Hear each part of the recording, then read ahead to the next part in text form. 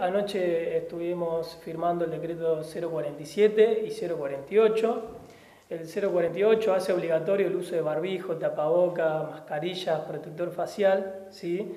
Eh, tanto sea para circular como para eh, las personas que se desempeñan en los ámbitos laborales. Bien. Eh, esta medida es obligatoria a partir del día del miércoles 15.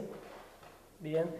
Eh, bueno, un poco una recomendación que uno puede hacer es crear o realizar su propio barbijo, ya que este se va a poder ser reutilizado o lavable. ¿sí? En el caso de los barbijos profesionales, dejarlo más para para no agotar el stock y lo puede usar la gente de personal de salud o personal de seguridad.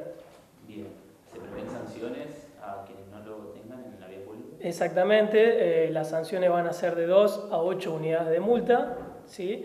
Y 4 horas eh, de trabajo comunitario eh, dentro de cualquier organismo público. Bien.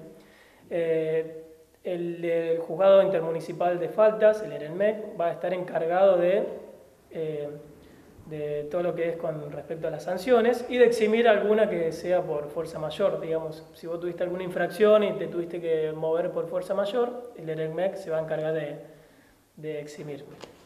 Bien, ¿alguna otra medida?